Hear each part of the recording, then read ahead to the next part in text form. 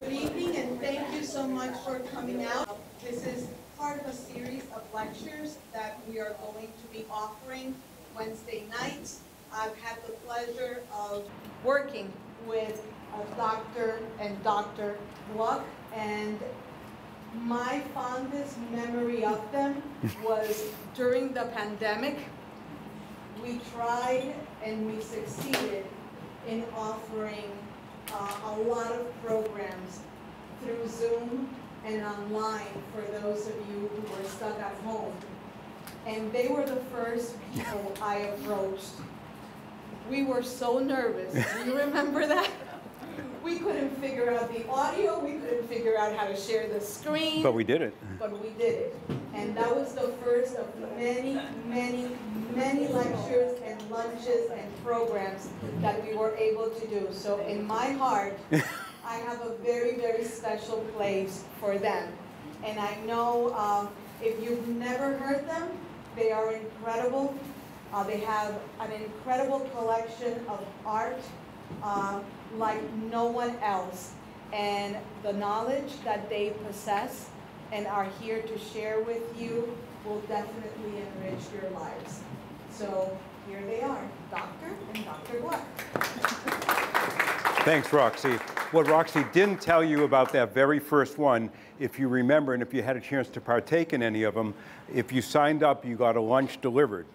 So we're in the middle of the presentation, about halfway through, and the, the doorbell rings. And I, I said, who could be? I go, it was our lunch. the Roxy, she, she didn't want us, us to be left out, so she arranged for us to get lunch as well. So thank you, Roxy, and it's, it's great to be here. Um, th this is an expanded version of what some of you may have heard parts of previously, and it's going to talk about our collection and put it in some context for you. I want this is the opening of an, one of the three museum shows we did from our collection. Those were our, all our, a number of our totem poles, and the slides that you're going to see, both the archival photographs as well as most of the objects you'll see in this presentation, are in our collection. So we still have most of them. We're, they're spread all over the place, but we have most of them. So the first question we always get is, you're in South Florida. What, what do you have to do with Northwest Coast Native American art? That, you couldn't be further away in the continental United States. So this is our story and how this interest began. Joan and I were married almost 53 years ago in Philadelphia. We were both in medical school at the time. You're from Philadelphia? No, no, oh, for, oh, married. All right. And, and we were students. We were arranged to do some research and study at Uni University of Southern California, LA County Hospital in Los Angeles. Our honeymoon consisted, we had six to seven weeks traveling cross country to get to LA.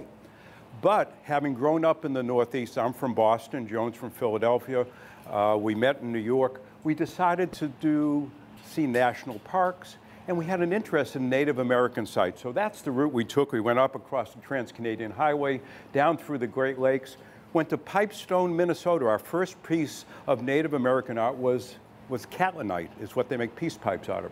Traveling a little further into the Black Hills, we got some Black Hills pottery. Venturing up into Canada, that was our very first mask. It's here on the table. I still remember we had, we are students, we didn't have any, $65 is what that mask cost us. Worth a few more dollars today, but that's our very, very first one in the collection. We spent a few months in Los Angeles. Then we arranged to do some research and study at, at, Jackson Memorial here in Miami. So now we did the southern route, same strategy, Native American sites, national parks.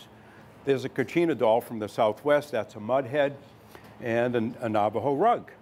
Getting to Florida, we spent three months and head back to New York. So over the years, we decided, well, what are we going to collect? What really interests us? And I think this captures exactly what drew us to that. It's not just the aesthetic of this beautiful art, but when you understand the beauty of the Native American culture, it is something that really, you know, we, we, they call them savages. They could teach us a thing or two about taking care of the environment. It's just a beautiful culture. So you'll hear a little bit about the culture, and here's our central premise. We're going to talk to you about the environment of the Northwest Coast. And these native tribes were products of that environment. So from that environment, they developed this beautiful culture. And then from this culture, they were able to establish this great aesthetic that we call art, they did not have a word for art. These were ceremonial and utilitarian things that they, they, they produced. So Joan's going to talk about the environment first so you can see this beautiful region. How many people have traveled to the Pacific Northwest? Okay, so it is just a beautiful area and a number of you have been there. So I wanted to talk about the environment in the Northwest Coast. And in the Ice Age, which was a long time ago, there was a land bridge that connected Asia with North America. How all of North America became populated through that land bridge. So the first settlements that the archaeologists have found are in Kodiak Island, which is in Alaska, and they can date it to nine or 10,000 years ago. So they've been here for a very, very long time.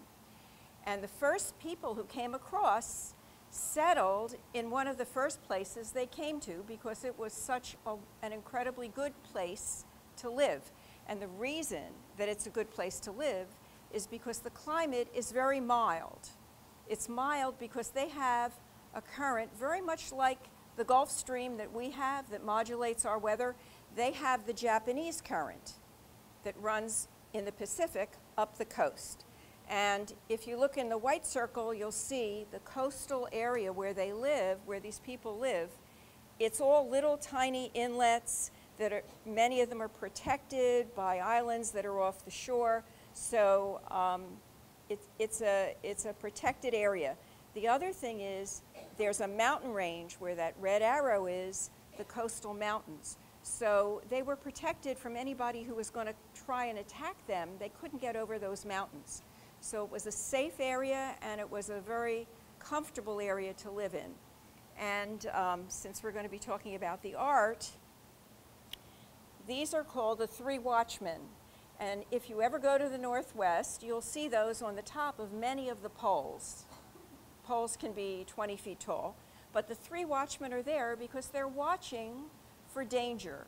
And they only need three. They only need to watch the ocean and the north and the south. They don't need to watch the mountains because they know nobody's going to come over the mountains anyway. So that's why there's only three watchmen. The people in this area live from Yakutat Bay, which is up in Alaska, all the way down to the Columbia River area. And there are many different tribes. Each of them are relatively isolated from each other because there are no roads. And the only way you can get between the different villages is by boat. So they, they all tend to have slightly different looks to their art, slightly different bents to their stories, um, and even their languages are a little bit different.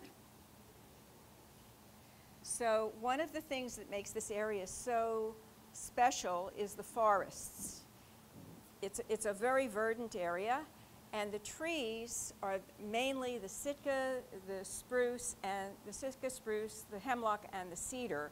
The cedar is especially important. That's the tree on the right. It grows very straight.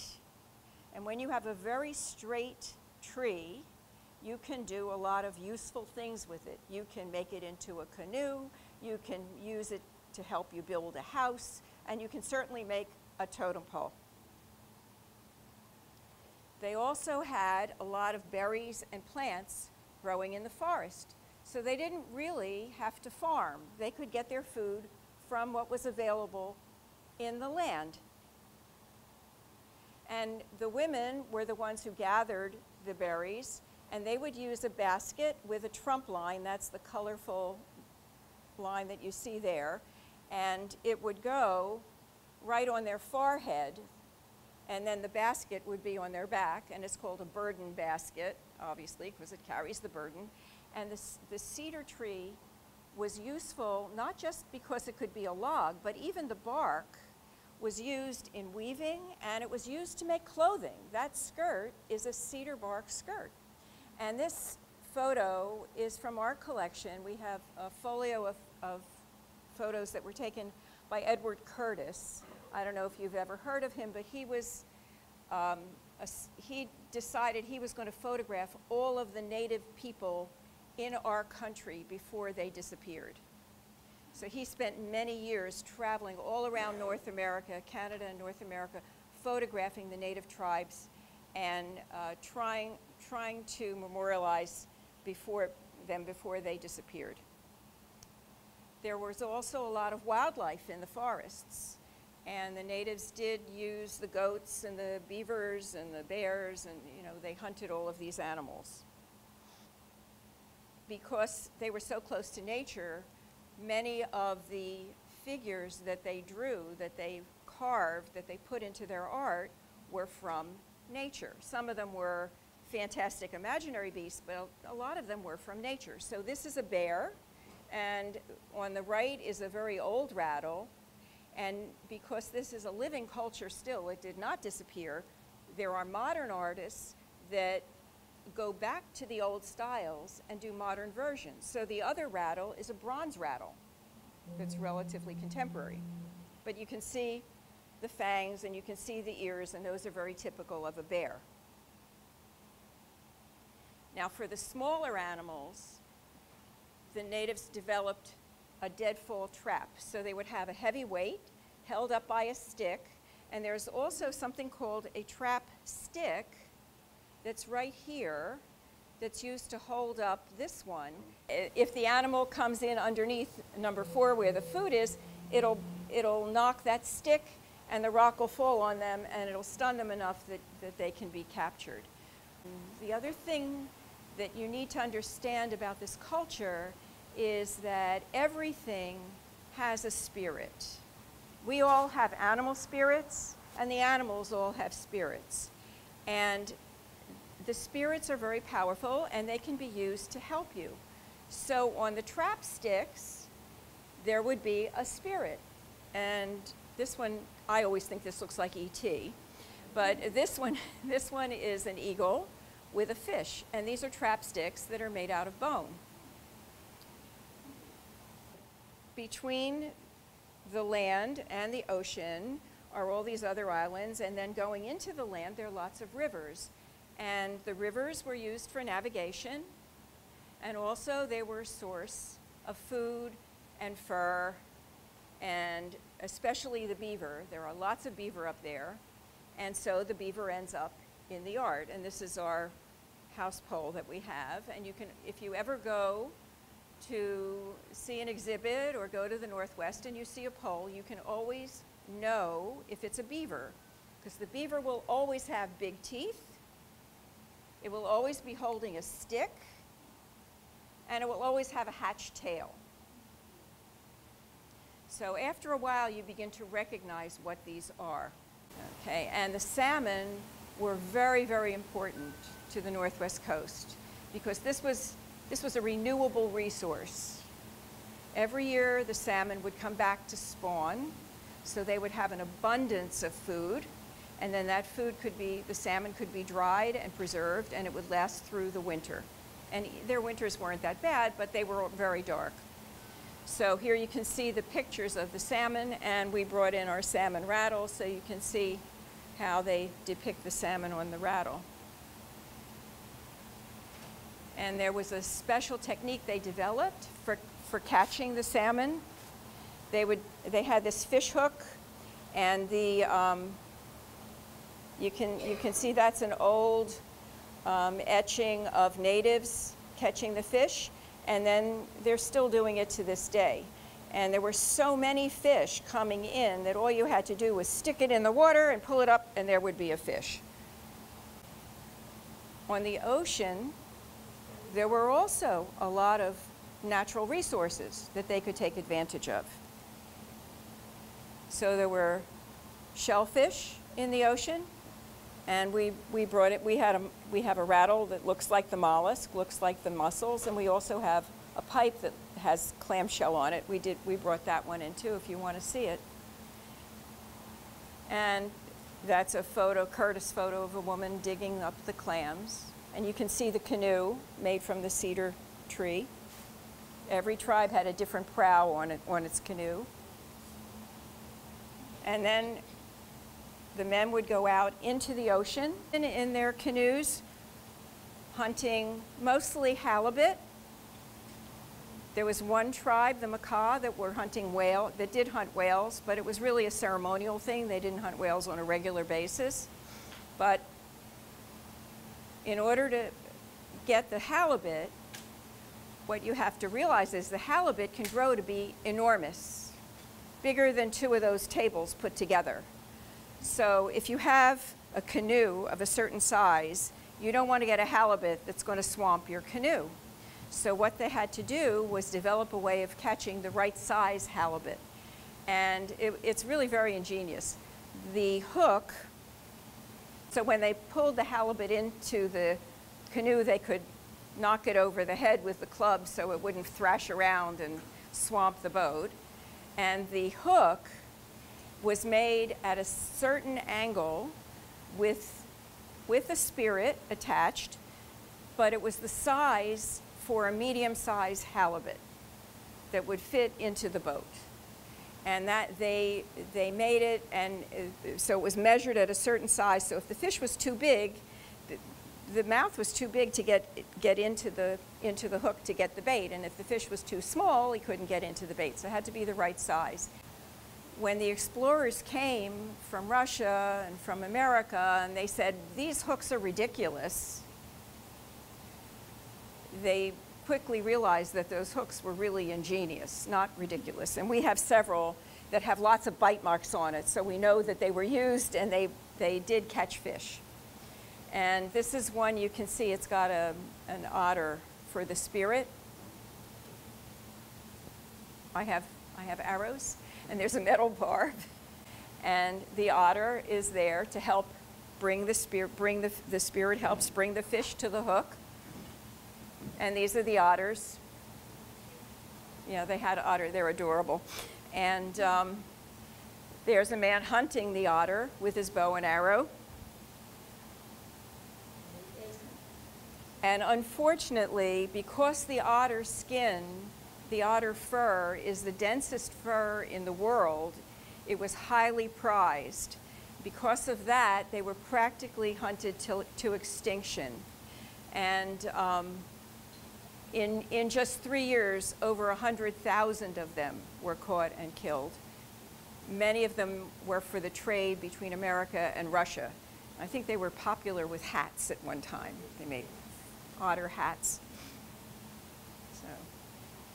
So what I'd like you to remember is that these people basically lived in their grocery store. They didn't have to go far for shopping.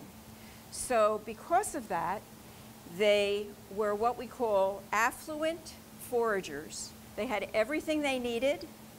They had knowledge. They developed very efficient tools. And because of that, they had leisure time which is to do a lot of things, which is some to build houses, to carve, to paint, to weave, to do a lot of things, which many of the other native tribes that you may know about did not have. When you think about chasing the buffalo herd across the plains or living in a desert, you don't have this luxury. So these people were very fortunate. They chose the right place to live. So, so, the term that's used is complex cultural practices. So they, during the spring, summer, and fall, they were collecting the food. They, they took on the picture of the halibut, you saw them drying the fish for the winter. Over the winter time, when the days were very short, and it was a little bit more difficult climate to go out and do all these things, that's when they developed ceremonies. That's when they, they uh, uh, had songs and dances and all, all kinds, and, and, and did a lot of this art. So we're going to talk a little bit about the village life and then get into some of the ceremonies. So if you went along the coast, you would see these villages, and they always sort of had the same design. In the middle would be, these are longhouses, and these were for family units. From 40 to 60 people would live in one of these. The middle one you can see with the tallest totem pole was the chief's house. So he got the best spot right in the middle, and then the tribe had uh, houses around him. Tribes. Oh, so there are 10 different tribes, so you, 10 of them. So the northernmost tribe is called the Tlingit. The southernmost tribe was called the Kwakiutl. That's an older term. Now they call themselves the Kwakwakwa. And in the center was a tribe called the Haida, and there were probably seven or eight others that I can name in between. So, but like Joan said, these tribes all were similar, all shared some practices, but they, they were distinctly different, and you could see differences in the art if you start to study it. So there was the chief's house right in the middle, and this is what it would look like. And that would be the entrance of the house through that central totem pole, and you can see the hole in the middle. People would crawl in through that. Within the house, there was this hierarchy. So the door's over here in my side of this house. Way in the other end, furthest from the door, was the chief, and the elite families would then have their place there. There was some storage room. The red area in the middle was for everybody else in that particular 40 to 60 person unit. And they did have slaves. And of course, they gave the slaves the part closest to the door where they might get breezes and, and, and, and uh, rained on. So this is a picture inside a reproduction of, a long, of one of these longhouses. So you can see the raised platform where that gentleman is standing. And those big poles on the corners, those are called house poles. And that beaver pole that we showed you is basically a house pole that we have. And basically, those poles on the corner carry most of the weight of the house. They, these are long beams that go through the house on the, on the two sides. So, two long beams would be supported by those house poles. And there's that fire pit in the middle, and then the benches on the side for the commoners. These are pictures. There's our pole on the right-hand side, and these are some pictures of some other ones. And you can see how that log would fit right in the center of that, and it would carry most of the weight of these long houses. And these are clan poles. So there's the beaver clan. The one closest to us here is an, a, a, an eagle, and the one further back is that bear that you saw with his tongue out and his fangs. The, one of the key tenets of the culture is being one with nature. And they have this wonderful philosophy. We are on earth for a limited amount of time as people. It is our role to preserve the environment for future generations. We are caretakers of our environment. And that's something very different than what may, maybe Western European philosophy is, is where we, we try to subvert nature for our own good. There we want to take care of nature so other generations can have it. So there's this oneness with the environment, this, this shared being a custodian for the environment, and, the, and they're very spiritual people. So the thought is every one of the people in the tribe had an animal spirit in them. And every animal had a person in them. So there was this constant back and forth and transformation between the animal world and the natural world and the human world. And that's reflected in some of their arts. Over the winter months, as uh, we said, this is a time when they had leisure time, if you will. They weren't hunting, they weren't fishing, they weren't gathering. They would be in the longhouse around the fires, and lots of ceremonies happened. So this is a mass that used to be in our collection. It's now in a museum in Massachusetts. That's a transformation. On the left-hand side is a raven. But this, and when it opened up, was almost five feet across. And when it opened inside, the raven is a carving of a human. So this is a transformation, human to raven, back and forth. So those jaws open. One of the most important ceremonies that occurred during these winter months was called the Hamatsa ceremony. This is a coming of age ceremony, and it was a secret society where young men would go out into the forest and they'd stay there for days. They'd take some hallucinogenic plants, they'd go into trance, then they would come back and they would assume the persona of one of these three birds. They called them the mythic birds. So the raven, we know what ravens look like, but these other birds don't exist in nature. The hook hook and the crooked beak of heaven. And they'd dance around, they'd be singing and dancing. And at the end of this several day of out in the forest and this long ceremony, these men were then accepted. Uh, they came of age and were part of the elite of the tribe. In the ceremony, the story is the raven plucks out people's eyes and they dance. And the hook would crack their skulls and eat their brains. And the crooked beak would eat the heart. And that was all put on. None of that really happened. There was a misunderstanding when they had contact with the Americans and the Canadians, and they thought they really were cannibalistic, and they never were. That was just a ceremonial thing. But that's called the Hamatsa dance, and it was a coming of age and initiation into a very prestigious society. What was very important during these ceremonies was storytelling. And they would tell these amazing stories And what are stories for? Well, before they could write, the stories served a number of purposes. And this is not only true in the Northwest Coast Society, this is true in societies all around the world. Why do we tell stories? To explain the natural world. Look at the Bible we have as a story of how the world came to be and how we came to be. The social order, to teach morality, Noah in the ark, for entertainment purposes. So there's lots of reasons why stories are told. When you look at art, it always tells a story. Sometimes you have to invent the story because it's modern art and it's abstract and who knows. And sometimes you can really see the story. And if you look at this picture, you know the story. In Western culture, we all know this story. Well, everything in native art also has a story. We just don't know them all. But it's, it's important to understand that re these really do have more meaning than just weird illustrations. Um, we did an exhibit, as Paul said, that was called Finding Raven, talking about each piece and the fact that it had the story and telling some of those stories. A native storyteller. And the nice thing about that is that they have a whole different cadence to the way they speak. And it's very dramatic because in the, in the winters when they put on these productions, think of it like a Broadway show. They had curtains, they had, I don't know if they had stage lights, but they had costumes, certainly. They had trap doors in the floor, they had people coming up from the ceiling, they had fake blood. They, they really dramatized things to make it entertaining, just like a regular show would be entertaining for us. So the story of Raven stealing the sun is one that's pretty much in every tribe. You'll get to see some of it.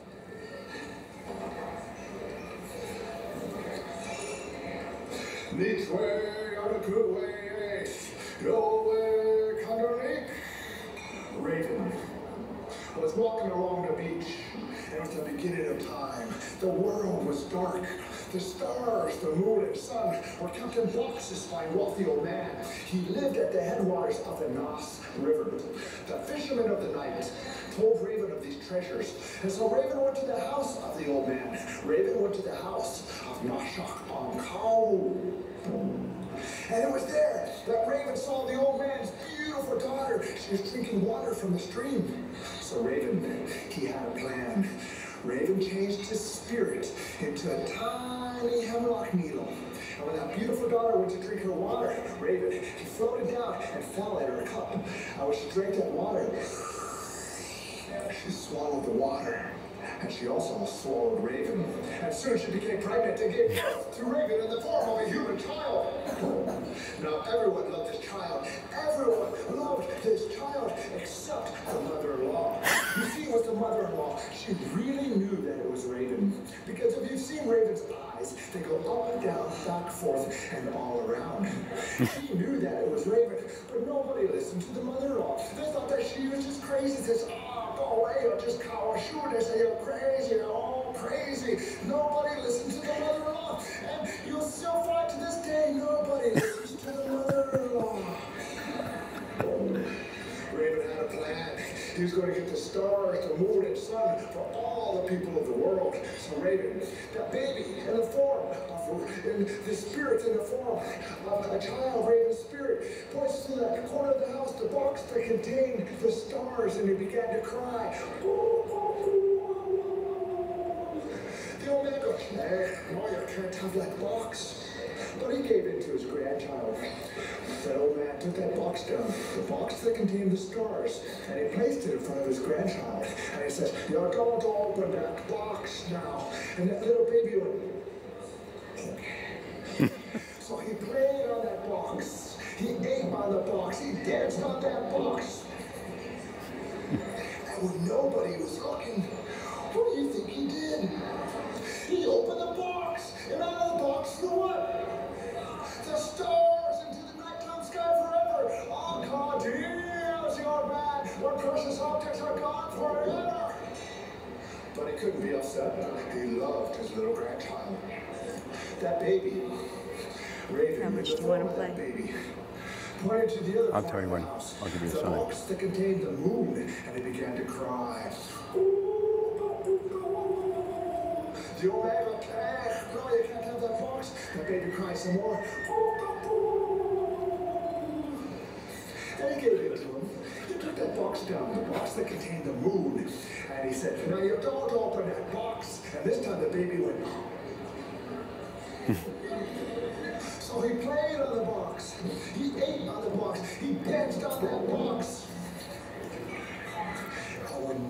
Tell about the sun. what do you think he did? Huh? He opened that box and out of the box flew what? The moon into the nighttime sky forever. A cartoon of silverback, but precious object of glory forever. But he couldn't be upset. He loved his little grandchild. Now, Raven. Raven is patient. He's very patient. Raven. He pointed to the other corner of the house. The box contained the sun, and he began to cry.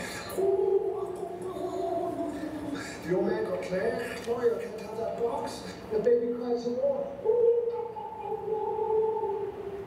Still the old man got Claire, oh, you can't have that box. The baby cried so much, he cried so much that he got sick.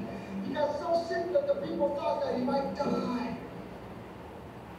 The beautiful daughter, she picked up the child and said, Father, is there anything worth more than the life of your grandchild?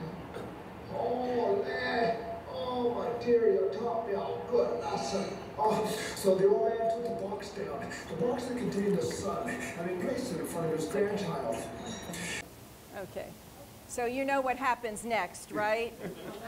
he ate on the box, he danced on the box, and he opened the box, and the sun came out, and he grabbed the sun in his mouth, and he changed back into a raven and flew out the chimney and put the sun in the sky. And that's why Raven is black. So this mask tells that story. We've got the old man, and we've got the raven sitting on the box holding the sun in his mouth. And this is actually a mask that moves, and the hands will go above the face when you pull that string on the bottom. I don't know if we have that or not. There he is. Yeah, because he's so upset that he lost his sun and his moon and his stars. And interestingly, a couple years ago, the Postal Service came out with a stamp with the raven stealing the sun. He's got the sun in his mouth. And the stars are around also. And that's the hand changing back into the raven's wing. So if you know the story, you really understand the stamp. Otherwise, it just looks like a black and white bird with polka dots. So it's good to know the stories. So along with telling the stories, which are owned by the chief, by the way, and you can only really, nobody else can tell them unless you get the permission of the chief. There are also songs that go with the stories, and they're dances. And we just wanted to show you a short clip of, of one of the raven dances, and you'll see how big the mask is. Some of these raven masks can be six feet long. They're enormous. And I want you to listen for the sound of the raven. He goes, awk, awk, awk.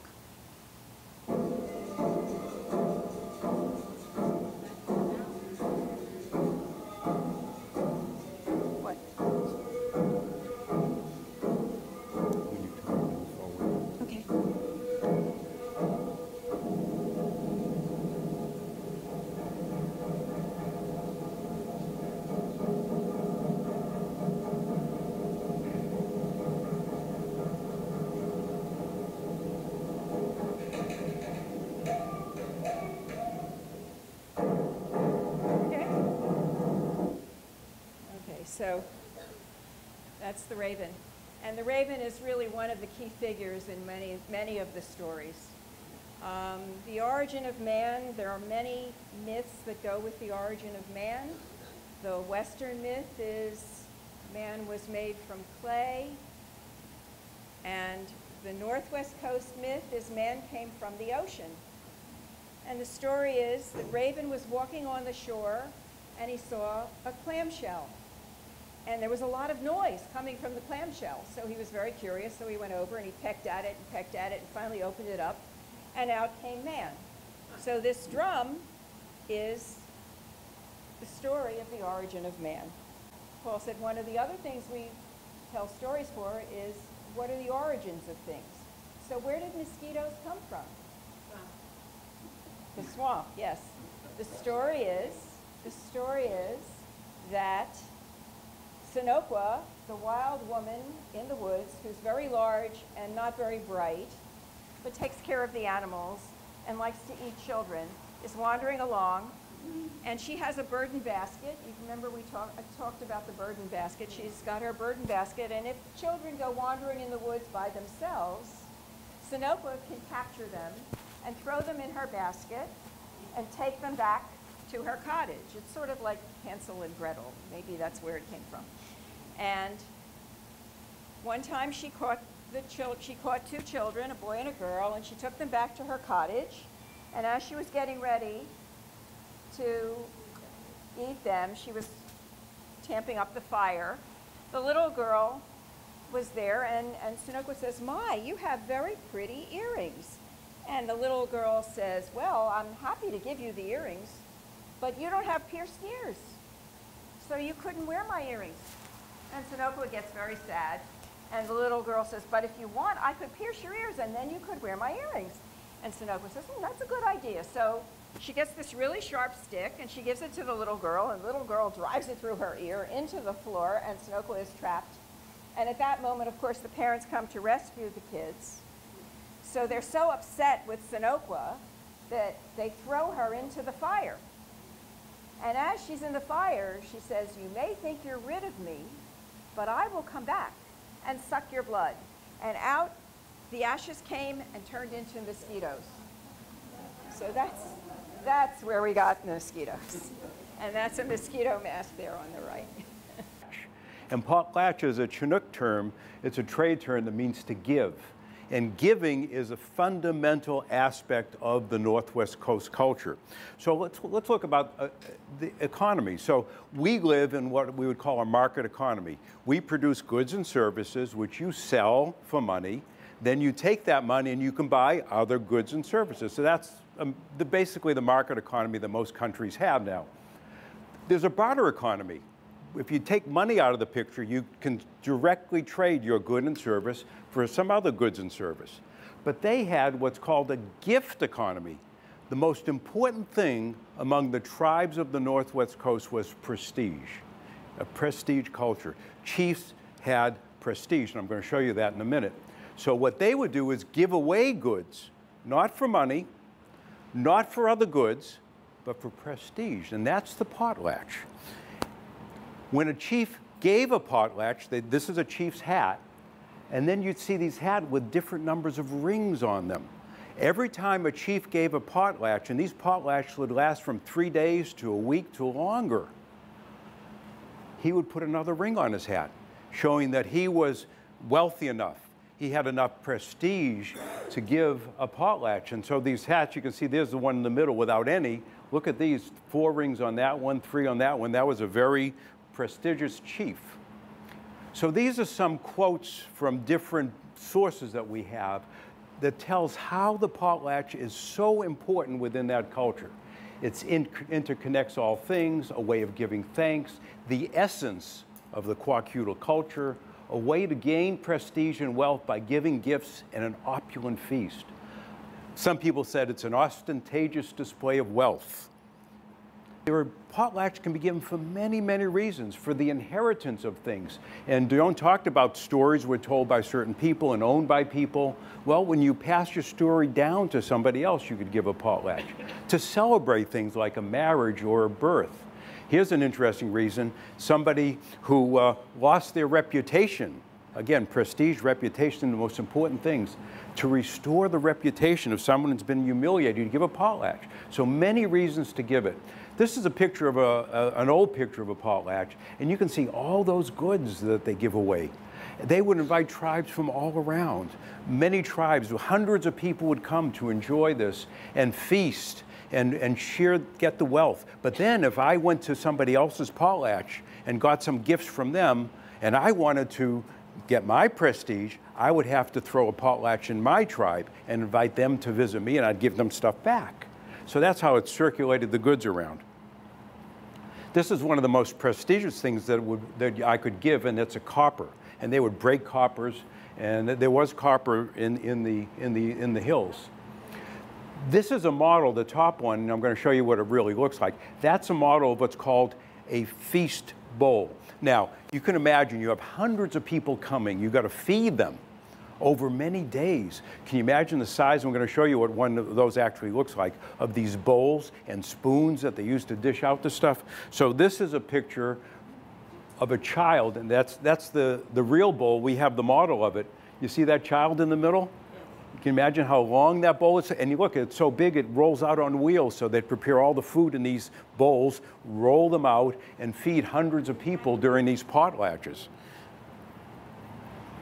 These are some of the implements they use. This is like the fine china. So these are uh, ladles and spoons and bowls that they would use. These are all made out of horn, sheep horn bowls, ladles, and spoons. This is a special one. That's, that's uh, from the Olachan fish.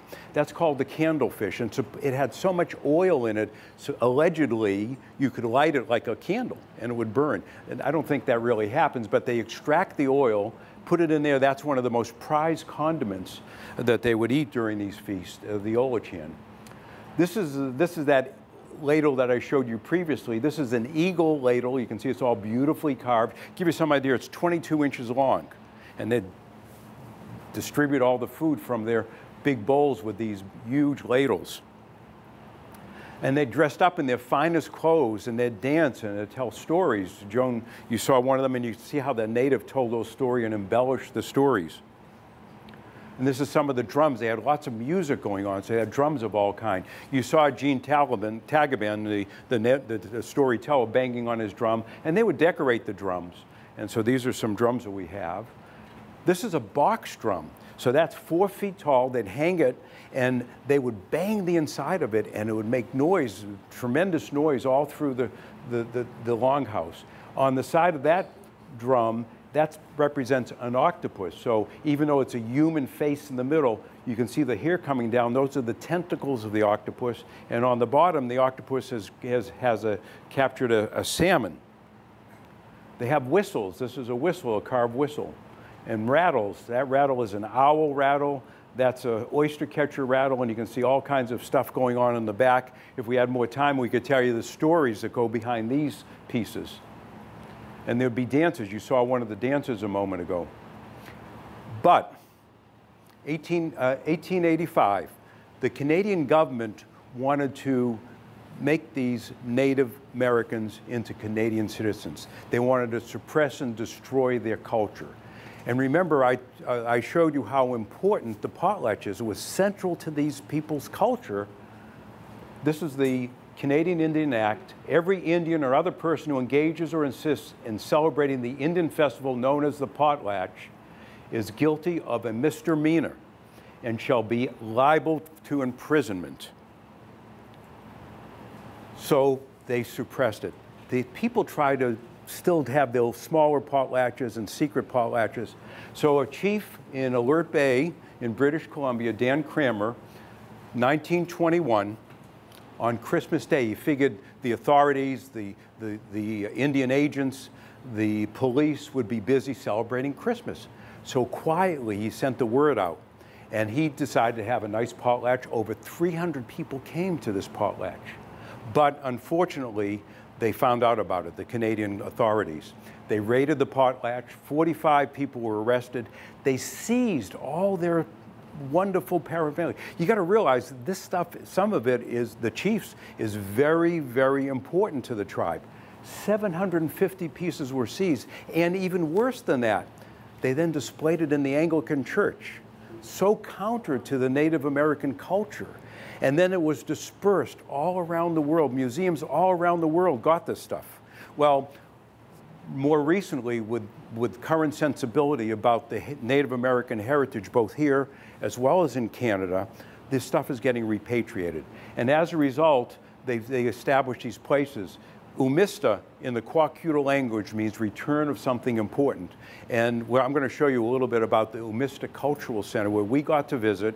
And actually one of the pieces from that we had in our collection was from that, that location. It's now back in that museum, and it's a centerpiece of that museum. And it's called the Chilkat Blanket, which hopefully we'll have time to talk about. So they've repatriated, and actually this, this is, is Kevin Cranmer, Dan Cranmer's son, accepting back one of the pieces that were stolen during that potlatch to be put in the, the museum. This is another thing that was stolen. Look at this costume, this incredible costume. And these are the elders of the tribe now welcoming these things back home to where they belong in Alert Bay. The act was finally repealed in 1951, almost 70 years later. But the potlatch didn't become common practice again within the culture of the Northwest Coast until the 1970s. And this is a picture of a modern one. You can see all those things they give away.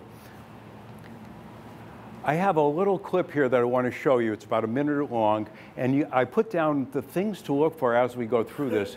And this is done by the tribe from Umista Cultural Center to tell you how important the potlatch is to them. My people, the Kwakwaka'wakw, have been guided by our ancestors. Our stories of origin are based on our first ancestors. Ceremonial masks tell of our beginning and share our identity and where we come from.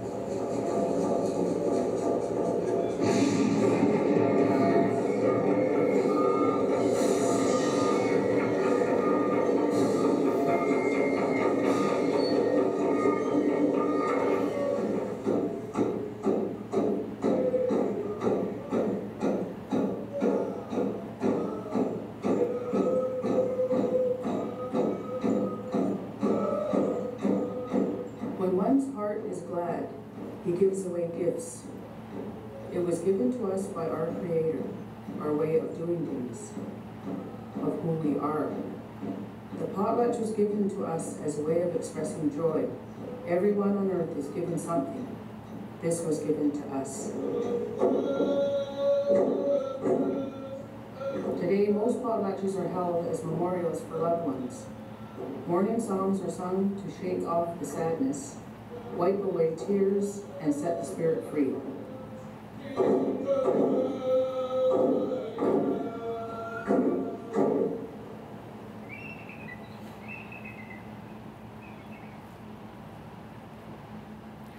So this is the Umista Cultural Center, and I included this picture there. We had a chance to visit, and you can see, a, and uh, this is a picture I took. You can see the dad with his child and the joy and pride. They're passing it on from one generation to another now. It's a living culture, and it, the, the people are flourishing and recapturing their culture. That's the longhouse we actually visited. That's the entrance of the cultural center. That's their entrance of the longhouse. The question was, where is this? And it's at the north coast of Vancouver Island, but I'll show you that. Let me, let me go ahead and tell you a story that as somebody that really feels passionately, not only about the objects, but about the people. This story, this is something that was in my collection. I briefly, our collection, I briefly mentioned it, but this is what gives us such joy. We went to visit them because of this story. So this is called the Paris blanket, and I'll tell you why it's called the Paris blanket. This is a, a picture by Edward Curtis, uh, done about 1920, and that's a blanket that we owned in our collection. It's a, called a Kwakiutl blanket. That's a chief wearing it. That blanket was a very special blanket. George Hunt was the prefector of the Hudson Bay Company store in Alert Bay. Hudson Bay Company, they had stores all through Canada. They were getting beaver pelts and they were trading goods with the, with the uh, natives. Mary Ebbets Hunt, otherwise her native name is Anaslaga, that's the woman in the middle, was a very important woman from the Tlingit tribe, a different tribe. But she traveled south, met George, and married, and they had a large family. That's a picture of the family. Mary Ebbets Hunt was a very important person. She was a, a, a very a, a princess in the Tlingit, and she developed a particular weaving technique for these Chilkat blankets. The blankets had goat hair a warp, and it was on, on cedar bark. And she developed a very special knotting technique.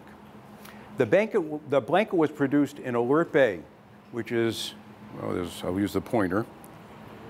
right here. So there's Vancouver Island. This is Victoria. Vancouver's here, right up in this area. I'm going to show you a better picture of that. She produced it. She produced 13 blankets in her lifetime. And you can tell it was her because she put a little, almost like a signature or a trademark in the corner of these blankets. As best we could figure out, and this part of the story is a little murky as far as the provenance, it was given to one of her children. Now, a terrible part of the story, which uh, we don't have time to talk about today, is that they would take the children from the parents and put them in these schools to try to suppress their native culture and teach them the Western way. And there's been stories recently about the children that were killed and abused in these schools, both in the US and Canada. So she went off to school, taken away from her parents, and had one of these special blankets. And then it disappeared for a long time until many years later, so something happened there. It appeared at auction at Sotheby's. We bought it at that auction. We knew it was a special blanket. So we took, we, it, we took it here to Miami. It was in our collection for many years. And then along when we moved from our home to Key Biscayne, and with all this move to repatriate important things, we said, you know, let, let's, we, we, sh we shouldn't keep this. This should go back somewhere. But what we decided to do we, was we were approached by Christie's. And so went back to New York to be sold by Christie's from our collection. Christie's was not selling it in New York at the time. They had closed their uh, Native American sales in this country, but they were selling ethnographic goods from their office in Paris. So it traveled from Miami to New York to Paris. In Paris, and if you've ever sold things at auction, you set a reserve, well, it didn't really sell. People didn't realize how important it was. However, what had happened is the people in Alert Bay, where it came from, heard about the auction. They heard about it the day before. They didn't have the money to buy it. But what happened was it didn't sell. And because it didn't sell, then we got post auction offers to buy it from us. Two of them were from collectors that had the money and said, We'll send you the check if you send us the blanket. But one of them, and we didn't know who it was at the time, said, We don't have the money. However, if you're willing to wait, we put in a request for the Canadian government to get the money. So we knew it was a museum and we suspected it might be from where it came from. So we told the other people that wanted to pay us on the spot, no, we'll wait and hopefully they'll get the money. We waited three months. Six months later, we finally got the money and we sent it back and it ended up back in Alert Bay, back where it came from. They were so, so it's called the Paris blanket because that's where it was, or where it went on auction. So that's what the long journey home ended up in the Umista Cultural Center, those pictures I showed you before. And this is a better map to show you where it is in the north part of Vancouver Island on the other end from Victoria. Very difficult place to get to. No cruise ship stops there, but very, very important place for the Native Americans. So we actually went there on a National Geographic expedition cruise. That's the boat we were on. There were 49 passengers. That's a picture of the town. Not much of a town. That's Alert Bay. But it has this beautiful cultural center. That's the entrance. A beautiful, well-preserved um, uh, burial grounds. And this piece, this is the blanket there, is the central and most important piece in that Umista collection of amazing pieces. That's the case they built for it. They reproduced it on a coffee mug. That's a picture of Anna Slaga, Mary Ebbets Hunt, on the coffee mug as well. There she is in the case. There's that picture I showed you at the beginning of a chief wearing our blanket, and there's their logo in the top picture.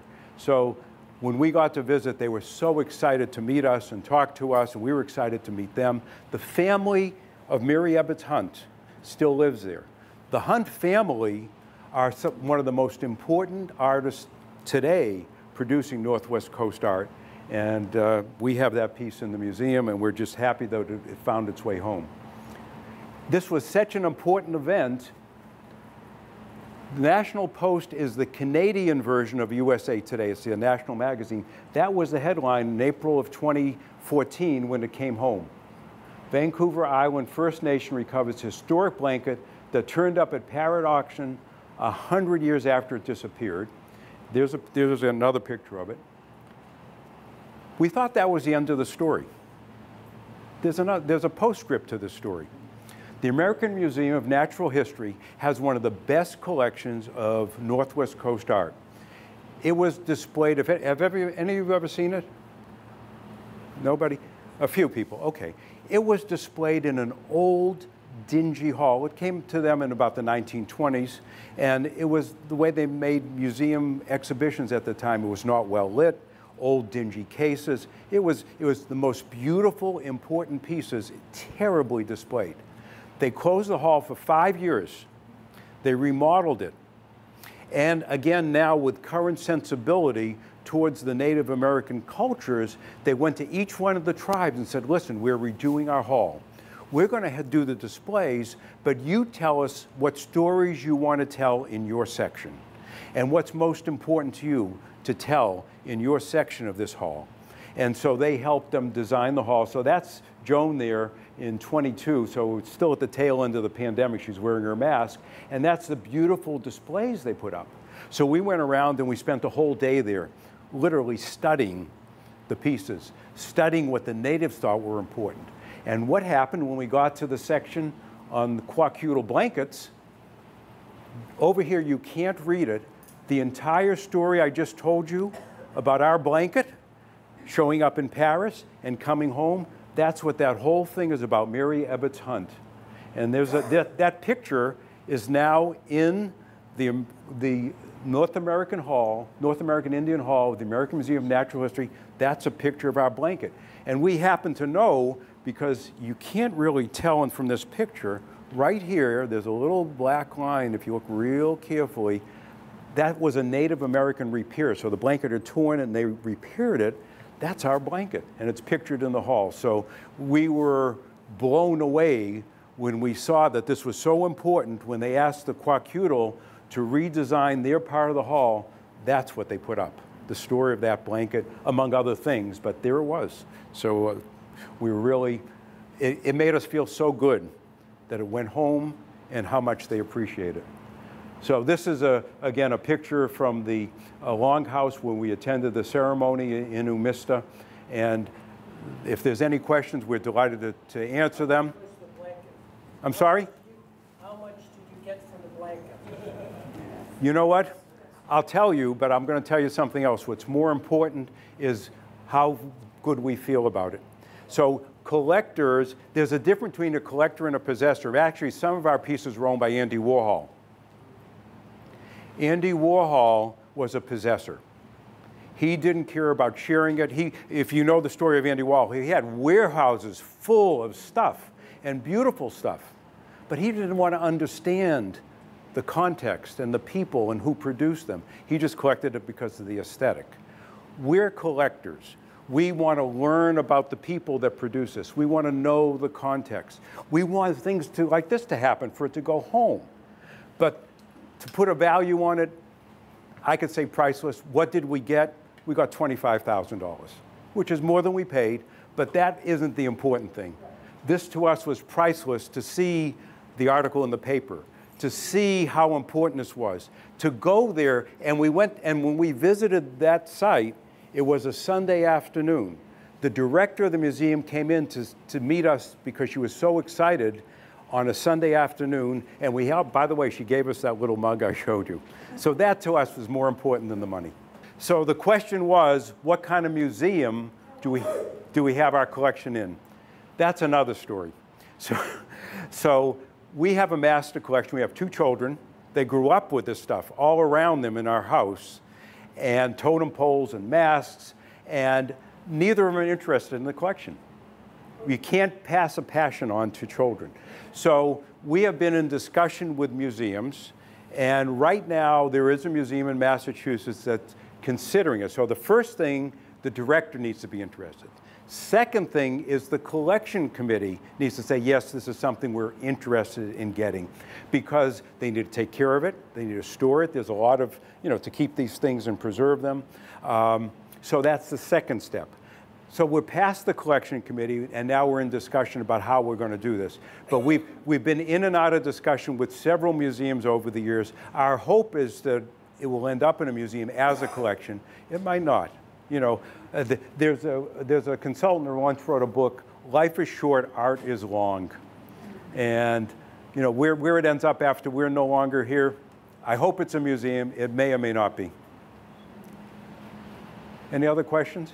How much was Christie's asking? How much does Christie's? How much was the, the? The commission? price That Christie's was looking Okay, well, the $25,000 was the, the total price. Auction houses get commissions. Auction houses charge for shipping, storage, publicity in the catalogs. So they get a lot of money on both ends of an auction if you go through the, especially the big houses. Currently today, Christie's gets 25% buyers and sellers commission. So if they sell something for $10,000, they end up with 5,000 in Christie's pocket and only 5,000 ends up going to the, however, Christie's knew that piece was important. So you can negotiate. If you have a Picasso, you can probably get it down less than 25,000, uh, 25% of the, the hammer price. What Christie's told us, without negotiating, they thought this piece was so important, they said, we will take care of shipping.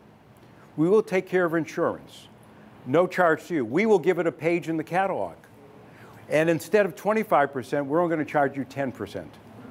So, because they wanted this piece very much, because, you know, if, if they, if a auction house puts out a, a, a Monet, that's, you know, that's going to draw other people to send their stuff to that house. So they want important pieces in whatever niche they're auctioning off. So, so yeah, auction houses do very well.